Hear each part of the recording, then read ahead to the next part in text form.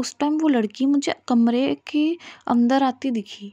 Balcony ना उसने खोला, ना दरवाज़ा खोला, ना कुछ, वो अंदर आ रही थी। उसके पैर ऊपर को थे, सिर और बाजुएँ नीचे को। ऐसे बड़ी भयंकर सी, गुराने सी की आवाज़ निकाल रही थी। दोस्तों, आप सभी का स्वागत है अक्षय वशिष्ठ चैनल पर। इस चैनल पर मैं अक्षय वशिष्ठ आपको ऐसे पैरानॉर्मल इंसिडेंट और एक्टिविटीज़ के बारे में बताता हूँ, जो कि हमारे फॉलोअर और सब्सक्राइबर हमारे साथ शेयर करते हैं। इंस्टाग्राम आईडी जीमेल आईडी और अब एक ऐसा फ़ोन नंबर जो कि आप स्क्रीन पर देख सकते हैं। तो कभी आपके साथ भी कोई पैरानॉर्मल इंसिडेंट हुआ हो, आप उसे रिकॉर्ड करके शेयर कर सकते हैं हमारे व्हाट्सअप नंबर पर मैं अक्षय वशिष्ठ उसे नरेट करूँगा अपनी आवाज़ में। आगे बढ़ने से पहले मैं तहे दिल से शुक्रिया देना चाहूँगा आपको जो आप यूट्यूब और इंस्टाग्राम को प्यार दे रहे हैं। यूट्यूब पे हमारे एक लाख से ज़्यादा सब्सक्राइबर हो गए हैं और इंस्टाग्राम पे हमारे पाँच लाख से ज़्यादा फॉलोअर हो गए हैं। अगर इसी तरीके से आपका प्यार रहा तो हम बहुत आगे जाएँगे। आगे बढ़ने से पहले मैं एक चीज़ हाईलाइट करना चाहूँगा जो रियल इंसिडेंट लोग हमारे साथ शेयर करते हैं। उन्हें सुनने के बाद कुछ लोगों का हमारे पास मैसेज आता है कि अक्षय सर, आप बहुत अच्छा काम कर रहे हैं। क्योंकि हम उनके रियल इंसिडेंट अपने चैनल के थ्रू आपके सामने लेके आ रहे हैं, जिनकी वजह से आप लोगों को बहुत कुछ सीखने को मिलते हैं। आपके जो कमेंट्स होते हैं, वो हमारे लिए मोटिवेशन होते हैं, इसलिए कमेंट्स को तहे दिल से जितना ज़्यादा हो सके भर के रखिए। जितने ज़्यादा हो सके कमेंट्स करिए वीडियो को शेयर कीजिए। आज का जो रियल इंसिडेंट है, वो हमें ईशिका ने बताया, जिनके साथ 2022 में एक ऐसा इंसिडेंट हुआ था, जिसको सुनने के बाद आप सोच में पड़ जाएँगे। कि जहाँ आप रह रहे हैं, जहाँ आप सो रहे हैं, जिन लोगों के बीच में आप रह रहे हैं, क्या आप सीरियसली सेफ़ हैं? ईशिका ने बताया, उनकी जो पूरी फैमिली है, वो जलंधर से बिलोंग करती है। उनके पापा आर्मी में है और 2022 में उनकी जो पोस्टिंग हुई थी, वो होशियारपुर में हुई थी। ईशिका शुरू से ही पढ़ाई में बहुत अच्छी है और उन्हें कभी पैरानॉर्मल के ऊपर यकीन था ही नहीं। लेकिन उनके साथ 2022 में एक ऐसी एक्टिविटी हुई, जिसकी वजह से उनको पैरानॉर्मल पर यकीन करना पड़ गया। बात है उनकी गर्मियों की छुट्टियों की, जब ईशिका अपनी पढ़ाई में लीन थी और एक दिन उनके पापा उन्हें बताते कि एक नाइट पार्टी है जिसमें उनको उनकी मदर के साथ जाना है। ईशिका के एक भाई भी हैं जो कि हॉस्टल में रहा करते थे, बाहर कॉलेज में दूसरी स्टेट में पढ़ाई किया करते थे। ईशिका ने बताया कि वो रात थी जब उनके पेरेंट्स को जाना था और ईशिका हमेशा ऐसे अकेले रहा करती थी जब उनके पेरेंट्स नाइट पार्टी में जाया करते थे। और आप आर्मी की पार्टी के बारे में अगर जानते हैं तो वो काफ़ी टाइम तक चलती थी। रात के एक दो बजे बहुत मामूली बात है, क्योंकि उनके ऊपर कोई रोक टोक नहीं होता, क्योंकि वो अपने कॉम्प्लेक्स के अंदर पार्टी किया करते थे। हालाँकि अगर आप बाहर पार्टी करेंगे तो रात के दस बजे डीजे बंद हो जाते हैं और नाइट गैदरिंग बंद कर दी जाती है। ईशिका ने बताया कि हमारे जो सामने लोग रहने वाले थे, उनसे हमारी बातचीत ज़्यादा नहीं थी, लेकिन वो अंकल भी आर्मी में थे। उनकी बेटी एक लौती थी जो उस घर में रहती थी। अब ईशिका के जो पेरेंट्स थे और सामने वाले जो लोग थे, वो आपस में बात करते हैं कि एक साथ चलते हैं पार्टी में? टाइम से निकल जाएँगे और टाइम से आ जाएँगे, दोनों बच्चियाँ साथ में ही हैं। तो वो घर पर रह जाएँगी। क्योंकि ईशिका ने साफ़ मना कर दिया था कि वो बाहर पार्टी वार्टी के लिए तैयार नहीं है और जो सामने वाले घर में लड़की थी, उसकी थोड़ी तबीयत ठीक नहीं थी। तो ईशिका के पेरेंट्स ने बोला था कि बेटा, सामने जो घर में लड़की है तो उसका ध्यान रखिए, उसके घर पर रात को सो जियो। भाई साहब और बहन जी भी हमारे साथ जा रहे हैं। और ईशिका इस चीज़ पर पूरा काम डाउन थी कि, मम्मी पापा अब जाओ यार, आराम से कोई दिक्कत नहीं है। वो हमेशा से ही ऐसे माहौल में रहती आई है, जहाँ पर वो बहुत ज़्यादा कॉन्फिडेंट थी, उनके रोल मॉडल उनके पापा रहे हैं तो उन्हें इस चीज़ का कभी डर ही नहीं था कि हमारे घर में कुछ गलत हो सकता है। लेकिन वो रात कहते हैं ना कि जहाँ पर इंसान ओवर कॉन्फिडेंट हो जाता है, वो रात उनके ऊपर बहुत भारी पड़ने वाली थी। तो इशिका ने बताया कि रात के दस, साढ़े दस की बात है, मैंने अपने घर को लॉक किया और सामने वाले घर की बेल बजाई तो वहाँ पर मेरी ही हाइट की एक लड़की आई और उसने गेट खोला और मुझे अंदर बुलाया। वो लड़की अजीब सी थी। जैसे या तो उसे बहुत ज़्यादा ठंड लग रही थी या फिर शायद वो अपने अकेले घर में बहुत ज़्यादा डर रही थी। ईशिका ने वहाँ पे कदम रखा और इस चीज़ को वो दूसरी लड़की देखकर बहुत ज़्यादा खुश हो गई कि अब कोई उसके साथ रहने वाला है। ईशिका ने अपने हाथ में अपनी कॉपीज़ वगैरह कैरी कर रखी थी तो वो अंदर जाते ही टेबल देखकर एक रूम में अपना होमवर्क करना स्टार्ट कर देती हैं। और जो दूसरी लड़की है, वो बाहर बैठकर टीवी देखने लगती है। थोड़ी देर में, जब ग्यारह साढ़े ग्यारह बजते हैं तो ईशिका बोलती है कि, चल यार, अब सो जाते हैं। काफ़ी टाइम हो गया है। तो सोने से पहले वो अपने पापा को फ़ोन करती हैं ईशिका के, पापा, आप कितने बजे तक आओगे? तो उनके पापा बोलते हैं कि, बेटा, हमें दो तीन बज सकते हैं। तुम लोग ठीक हो? सेफ़ हो? तो ईशिका बोलती है हाँ पापा, मैं आपका लड़का हूँ, आप टेंशन मत लो। मैं स्ट्रांग हूँ, आपको पता है, मैं इस लड़की का भी ध्यान रखूँगी। उसके पापा हँसते हँसते फ़ोन काटते हैं कि, हम आ जाएँगे और जैसे ही आएँगे, तुम्हें बता देंगे। बारह बजते हैं। जब वो सोने के लिए जाते हैं तो ईशिका को कभी किसी के साथ सोने की आदत नहीं थी। वो हमेशा अपने एक सिंगल रूम में अलग से ही रहती थी। तो ईशिका अब जो है उस लड़की के पेरेंट्स के रूम में चली जाती है और वो जो ईशिका के साथ जो लड़की थी वो उसके पास आती है, ईशिका के पास और बोलती है कि आप अकेले सोओगे? तो ईशिका बोलती है हाँ मुझे कोई दिक्कत नहीं है। ईशिका फटाफट से एसी ऑन करती है, उनके पेरेंट्स के कमरे में जो सामने वाली लड़की का घर था, उनके पेरेंट्स के कमरे में वो लेट जाती है। और शायद ईशिका ने बताया कि भाई वो जो सामने वाली लड़की थी, वो चाहती थी कि ईशिका उस रात उसके साथ सोए, लेकिन ईशिका ने उस चीज़ में ज़्यादा इंटरेस्ट दिखाया नहीं। अब रात के एक डेढ़ बजे थे, जब ईशिका बहुत ज़्यादा गहरी नींद में थी और अचानक से वो जो दूसरी लड़की थी, वो ईशिका के पास आती है और ईशिका को हिलाती है कि ईशिका ईशिका प्लीज़ उठना, ईशिका। तो ईशिका की आँख खुलती है तो वो देखती है कि वो लड़की बहुत ज़्यादा पसीने में हो रखी थी, जैसे उसने कोई भूत देख लिया। ईशिका उससे पूछती है, क्या हुआ? तो डरी हुई से क्यों लग रही है? तो वो जो लड़की थी, वो बोलती है कि, बहन, मेरे साथ चलना प्लीज़ मेरे कमरे में कोई है। मुझे ऐसा लग रहा है जैसे मेरे कमरे में कोई है। ईशिका देखती है, इसके कमरे में कोई है? ईशिका एसी ऑफ़ करती है, बोलती है, चल। तो ईशिका जैसे ही उसके कमरे में जाती है ना ईशिका का सबसे पहले तो बुरा हाल हो जाता है ये देखकर कि ये लड़की गर्मियों की छुट्टी में, इतनी गर्मी में ये लड़की कंबल ओढ़ के कैसे सो रही है? ईशिका उससे पूछती है कि, एक बात बता, तू अपने कमरे में तूने एसी ऑन क्यों नहीं करा? तो वो लड़की बोलती है, नहीं, मुझे ठंड लगती है। मुझे ऐसा लग रहा है जैसे मेरे कमरे में कोई है। ईशिका हर तरफ़ नज़र मारती है, पूरे में देखती है और उसे कोई भी नहीं दिखता। तो ईशिका बोलती है कि, देख बहन, मुझे सुबह उठना है, अभी मम्मी पापा आ जाएँगे तीन चार बजे तक। तो थोड़ी देर की बात हो रहा है, सो जा आराम से। तो ईशिका फटाफट से उठ के अपने उसी उन्हीं के पेरेंट्स के कमरे में आके सो जाती है। अब उस लड़की को वो अकेला वहाँ पर छोड़ देती है। थोड़ी देर में उसकी आँखें लगी थी ईशिका की फिर दोबारा वो लड़की आती है। बोलती कि, प्लीज़ ईशिका तू मेरे साथ चलना मेरे कमरे में सो जाना मेरे साथ। उस कमरे में मुझे किसी के गुनगुनाने की आवाज़ आ रही है। ईशिका बोलते हैं, यार, तू पागल वागल हो गई है क्या? ये हो कैसे सकता है यार? मैं अभी तो देख के आई हूँ, तेरे कमरे में कोई नहीं है। अब ईशिका उसके बोलने पर उसके कमरे में जाती है और देखती है, आगे पीछे कुछ भी नहीं है। लेकिन उसका जो सिंगल बेड था, वो बहुत ज़्यादा छोटा था। तो ईशिका बोलती है, देख बहन, मैं तेरे साथ सो नहीं पाऊँगी यहाँ पर और मेरे को भी तेरे पेरेंट्स वाले कमरे में ना बहुत ज़्यादा घुटन सी हो रही है, वहाँ पर खिड़की वगैरह है नहीं। तो एक काम कर, तू मेरे घर में चल। अब ईशिका उस लड़की को लेकर उसके घर को लॉक करके अपने घर में जाती है और वहाँ पर उस लड़की को लिटाती है। तभी ईशिका को याद आता है, यार, मैं तेरे घर में अपना फ़ोन भूल गई हूँ। तो वो उठाती है उसके घर की कीज़ और जब अंदर जाती है तो यहाँ पर ईशिका ने पहली बार हाईलाइट करा कि, अक्षय भाई, वहाँ पर जाने के बाद ना, मुझे सीरियसली बहुत अजीब लगा, क्योंकि जिस कमरे में अभी तक ठंड हो रही थी, वहाँ पर पूरे घर में टेम्परेचर बहुत अजीब हो गया था। और उस लड़की के कमरे में वो देख के आई ईशिका दोबारा कि सीरियसली यहाँ पे कुछ है या नहीं है तो उसका कमरा बहुत ज़्यादा ठंडा हो गया था। ईशिका सब कुछ इग्नोर करती है और फटाफट से उस लॉक करके उस घर को अपने घर में आ जाती है। अब ईशिका ने बताया कि उसके पापा ने वहाँ पर किले भी ठुकवा रखी थी और उनके वहाँ पर बहुत बड़ा हनुमान जी का मंदिर भी था। तो ईशिका को कभी इस चीज़ से डर नहीं लगा क्योंकि वो हनुमान जी की बहुत बड़ी भक्त थी और जब ईशिका उसके घर में गई थी, तब भी अपनी पॉकेट में हनुमान चालीसा छोटी वाली जो थी, वो लेके गई थी। वापस आते टाइम इशिका जो है अपने उस हनुमान चालीसा को ड्रॉर में नहीं रखती, सामने वाले टेबल पर रख देती है। तो वहाँ पर एक अच्छा खासा किंग साइज़ बेड था, जिसमें ईशिका लेटती है और वो जो लड़की है, उनके पीछे लेट जाती है। यहाँ से ईशिका ने मुझे बोला कि अक्षय सर, मुझे नहीं पता था उस रात मैं क्या क्या चीज़ें देखने वाली हूँ, जो पूरी ज़िंदगी में मैंने नहीं देखी अपने। वो सारी हॉरर एक्टिविटी इस रात से शुरू हुई। ईशिका ने बताया कि वो लड़की पीछे लेटी और मैंने अपनी आँख बंद की। तो थोड़ी देर में जब मेरी आँख खोली, मैंने देखा जो मेरे सामने खिड़की है, जो खिड़की के आगे कर्टन्स थे, जो थोड़े से बोलते हैं ना, धरती को टच करने से थोड़े ऊपर कर्टन्स होते हैं। ईशिका ने देखा जैसे उसके पीछे कोई लड़की देख रही थी, जैसे ईशिका की आँख खुली, उसने उस कर्टन को ढक दिया। ईशिका ने मुझे लिटरली इस तरीके से बोला कि, अक्षय सर, मैं जो हालत हुई थी ना मेरी उस टाइम पे कि मैंने ज़िंदगी में नहीं सोचा था, मेरे साथ कुछ ऐसा हो सकता है। ईशिका ने देखा उस कर्टन के पीछे कोई लड़की थी, एकदम से उसने देख कर ईशिका को पर्दा आगे कर लिया। ईशिका बहुत ज़्यादा डर गई और उसने पीछे मुड़ के देखा तो वो जो दूसरी लड़की थी, सामने वाले घर वाली लड़की, वो भी उस टाइम पे जगी हुई थी। ईशिका ने डर के मारे एक चद्दर अपने ऊपर ओढ़ ली और उस लड़की को बोला, तू भी सो जा चुपचाप। अब ये सोने की कोशिश ही करते हैं। इतने में जो पीछे लड़की लेटी थी, उसने ईशिका को हाथ मारा। ईशिका ईशिका देख वो लड़की आ गई। ईशिका ने अपनी चद्दर नीचे की तो उसने देखा वो लड़की सीरियसली एक लड़की चल के अंदर आ रही है, वापस जा रही है। दो कदम आ रही है, दो कदम वापस जा रही है। तीन कदम आ रही है, फिर तीन कदम वापस जा रही है। ईशिका इस चीज़ को देखकर बहुत ज़्यादा डर गई थी कि एक एंटिटी एक लड़की, छोटी सी कम से कम पाँच फिट की होगी, वो लड़की आ रही है, जा रही है, आ रही है, जा रही है, आ रही है, जा रही है। ईशिका ने बोला कि कौन है ये? तो वो जो लड़की थी, वो बोली कि अभी देखना, ये ना मुझे रोज़ परेशान करती है, अभी देखना ये हमारे बेड के कॉर्नर पे आके बैठेगी। ईशिका उसे ध्यान से देखती है थोड़ा सा चद्दर में से।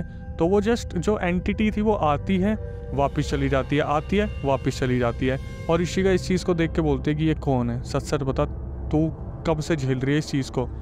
तो वो जो लड़की थी वो बोलती है कि मैं पूरे दस से पंद्रह दिन हो गए मुझे इसे झेलते हुए, ये मेरे को रोज़ दिख रही है, मैं अपने मम्मी पापा को बोलने की कोशिश करती हूँ, लेकिन मेरी हिम्मत ही नहीं होती।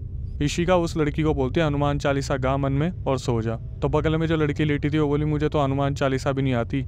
ईशिका बोलती है, जो मैं गा रही हूँ, पीछे पीछे बोलती रहे। तो वो शुरू करते हैं, जय हनुमान, ज्ञान गुण सागर, जय कपीसती हो लोक उजागर। और इन दोनों को कब नींद आ जाती है, इन्हें पता ही नहीं चलता। अब हुआ क्या ईशिका के जो पेरेंट्स थे, उन्हें आते आते सुबह टाइम लग गया और वो चार पाँच बजे अपने घर पहुँचे। तो ईशिका ने अपने पेरेंट्स को ये बताना ज़रूरी नहीं समझा। उस टाइम पे जब वो चार पाँच बजे आए थे तो ईशिका ने उस लड़की को सामने वाले घर में भेज दिया क्योंकि उसके भी पेरेंट्स आ गए थे और ईशिका आके वापस लेट गई। जैसी ईशिका की आँख सुबह खुलती है आठ बजे, वो अपने पापा के पास जाती है और अपने पापा को बोलती है कि, पापा, रात को जो लड़की आई थी हमारे घर में, उसके साथ ऐसा ऐसा हो रहा है पिछले दस बारह दिन से और मैंने भी कल रात को कोई लड़की को देखा था जो ऐसे ऐसे अंदर बाहर हो रही थी। अब जो ईशिका के पापा थे, वो ईशिका पे इतना ज़्यादा ट्रस्ट करते थे, वो फटाफट से एक पंडित जी को फ़ोन करते हैं जो उनके नोन में थे। कि पंडित जी, अभी की अभी आओ। मेरी लड़की ने ऐसा कुछ फेस किया है जिसकी वजह से वो बहुत ज़्यादा डिस्टर्ब है। तो पंडित जी उनके नोन में थे। वो आते हैं वहाँ पर एक दो घंटे बाद। तो जो ईशिका के पापा थे, उसने सामने वालों से इस बारे में बात नहीं की थी कि ऐसा कुछ हुआ है। जो पंडित जी आते हैं, एक दो घंटे बाद, वो आते ही कदम रखते ही बता देते कि यहाँ पर कुछ गलत है। कोई ना कोई नेगेटिव चीज़ है जो अपने आप को छुपा रही है। लेकिन उसका कोई सोर्स पता नहीं चल रहा कि किस तरीके से वो आ रही है, किस तरीके से वो जा रही है। तो जो पंडित जी आए थे, वो ईशिका के पापा को कुछ कंफर्म नहीं कर पाते और पंडित जी एक थोड़ी देर में कुछ सॉल्यूशन बता के वहाँ से चले जाते हैं। अब उस रात ईशिका अपने कमरे में सो रही थी और उनके पापा मम्मी अपने कमरे में सो रहे थे। उन्हें लग रहा था जो पंडित जी आए थे, जिन्होंने कुछ चीज़ें बताई थी, उसकी वजह से सारी चीज़ें ठीक हो गई। बट आज रात ईशिका के साथ ऐसी चीज़ हुई कि रिकॉर्डिंग पे जब उन्होंने मुझे बताई तो वो बोल रही थी कि उनका आपाक हो गया था, शायद वो हार्ट फेल से मर जाती।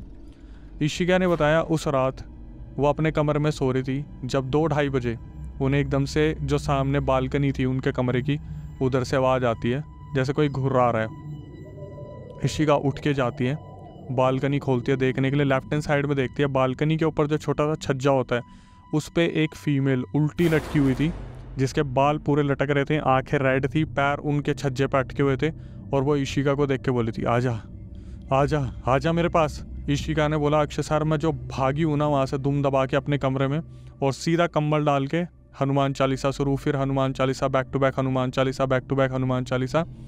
कैसा न कैसे वो सो गई। ईशिका सबसे पहले सुबह सात बजे उठी और अपने पापा के पास जाके रोना शुरू कर दिया कि, पापा ऐसे ऐसे रात को मुझे एक एंटिटी दिखी थी और वो बालकनी में लटकी हुई थी। उनके पापा भी बहुत ज़्यादा घबरा जाते हैं। वो कैसे न कैसे अपने जो कुल देवी होते हैं, उन, उनके मंदिर में फ़ोन करते हैं और वहाँ से पुजारी को भेजा जाता है। जो पुजारी थे, अपने साथ दो शिष्य को लेके आए थे। अब वो घर में पुजारी कदम रखते हैं, जो बहुत ज़्यादा सिद्ध पुजारी थे। वो कदम रखते ही देखते हैं आगे पीछे, बोलते हैं, यहाँ पर किसी ने ब्लैक मैजिक करा हुआ है। तो उसके पापा सोचते हैं, यार, एक रात मैं इस घर में नहीं था। एक रात को क्या ऐसा हो गया जिसकी वजह से ब्लैक मैजिक की मतलब एक्टिविटी मेरे घर में कैसे हो गई? तो पुजारी बोलते कि एकदम से ईशिका के बेड की तरफ़ देख के बोलते, इस बेड के पीछे क्या है? तो उस बेड को जब खिसकाया जाता है तो उसके अंदर से एक हेयर बैंड निकलता है, पीछे से, और एक हाथ का ब्रेसलेट निकलता है, जो बीड्स का बना हुआ था। अब वो पुजारी बोलते हैं इसे बाहर लेके आओ। अपने शिष्य जो होते हैं, उन्हें बोलते हैं, हाथ मत लगाना, रुमाल से पकड़ो इसे। रुमाल से पकड़ के उसे बाहर लाते हैं, और रुमाल से पकड़ के जब देखते हैं तो जो बीड्स के बने हुए थे, उसमें एक ब्लैक और रेड बीड्स थी। ब्लैक और रेड बीड्स में एक नाम था और वो नाम जो था वो सामने वाली लड़की का उस पर बुंदवा के लिखा हुआ था। जैसे कोई ऐसे होता है ना, नाम लिख दिया जाता है ब्रेसलेट पे तो उस लड़की को बुलाया जाता है कि ये ब्रेसलेट कहाँ से आया तुम्हारे पास और ये इस घर में क्या कर रहा है? तो वो, उसने बताया कि जब मैं उस रात सो रही थी तो मैंने अपना हेयर बैंड खोल दिया था और ब्रेसलेट के साथ मैं ऐसे ऐसे खेल रही थी टाइम पास के लिए, तब वो मेरे हाथ से शायद गिर गया था। अब पूछा जाता है कि ये ब्रेसलेट तुम्हें किसने दिया? तो जब पुजारी जी आए थे, उन्होंने जब वो सामने वाली लड़की को बुलाया था तो उसके पेरेंट्स भी साथ में आ गए थे। तो ये सब कुछ जो हो रही थी क्रिया, उसमें जो सामने वाले पेरेंट्स सब अपनी बेटी को पूछते कि, बेटे ब्रेसलेट तुझे किसने दिया? तो उस लड़की ने जो बताया, वहाँ पर सब दंग रह गए थे। वो ब्रेसलेट उनकी मासी ने उस लड़की को दिया था। उस लड़की की मासी का यहाँ पर एक बहुत बड़ा रोल निकल के आता है, जो ब्रेसलेट उस लड़की को दिया था और उस ब्रेसलेट के ऊपर मारन क्रिया कर रखी थी। सिर्फ़ 10 से 15 दिन के अंदर मारने के लिए ये सारी की सारी क्रिया कर रखी थी सामने वाली लड़की के ऊपर। अब सब कुछ पता किया जाता है तो अब क्या होता है, वो जो पुजारी जी होते हैं, वो इनके घर से उठ के ईशिका के घर से उठ के उनके घर में जाते हैं, अपने दो शिष्य के साथ। वहाँ पर जाके सामने वाले घर में उस लड़की को एक घेरे के अंदर बैठाया जाता है और एक गुड़िया बनाई जाती है जिसको एक घेरे में बैठाया जाता है। और वो अपनी क्रिया शुरू करते हैं। ईशिका के पेरेंट्स और सामने वालों के पेरेंट्स उसी घर में थे। जब वो क्रिया की जाती है तो सामने वाली जो लड़की थी, उसके अंदर कोई आत्मा आती है उसके शरीर में, जिससे पूछा जाता है कि भाई, तू इसके शरीर में क्या कर रही है या तेरे को छोड़ा गया, किसने छोड़ा? तो वो आत्मा बताती है कि मुझे इसकी मासी ने छोड़ा है, इसको पंद्रह दिन के अंदर ख़त्म करने के लिए। तो उससे रीज़न पूछा जाता है कि क्यों ऐसा करा गया? तो वो बताती है कि जो मासी का लड़का है, वो हैंडीकैप्ड है। तो पुजारी जो है उस लड़की के पापा मम्मी से कंफर्म करते हैं सच बोल रही है? तो बोलते हैं हाँ ये सच बोल रही है।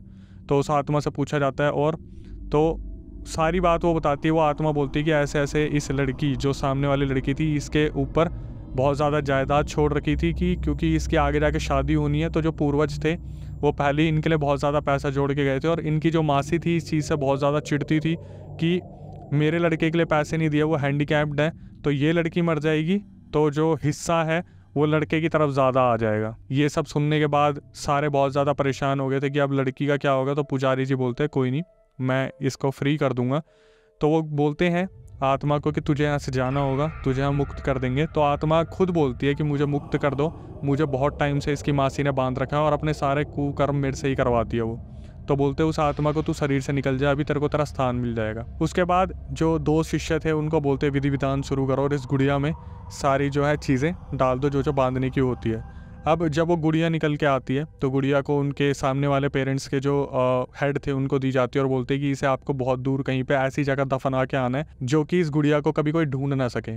उसके बाद फिर वो जो सामने वाली लड़की थी, उसको दो से तीन नारियल दिए जाते हैं लाल कपड़े में बाँध के और बोला जाता है कि इसे आपको शमशान के बाहर रख के आना। है उनकी मम्मी भी उनके साथ जाने वाली थी और बोला था, शमशान के बाहर जब आप रख के आओगे तो आपको आवाज़ आएगी, आपको पीछे मुड़ के नहीं देखना। दोनों सॉल्यूशन करे गए और दोनों सॉल्यूशन के बाद वो लड़की फ्री हुई। उसके बाद जब इशिका ने उस लड़की से पूछा और उसके पेरेंट्स ने पूछा कि बेटा, इन दिनों आपके साथ कोई एक्टिविटी नहीं हुई थी? तो उस लड़की ने बोला कि जो ब्रेसलेट और हेयर बैंड था, जब वो इशिका के बेड के पीछे पड़ गया था, उस दिन के बाद उस लड़की के साथ कुछ भी नहीं हुआ। जो सामने वाले पेरेंट्स थे और इशिका के पेरेंट्स थे, उन्होंने पूछा कि मासी ने जब आपको ये ब्रेसलेट दिया था तो आपको क्या बोला था?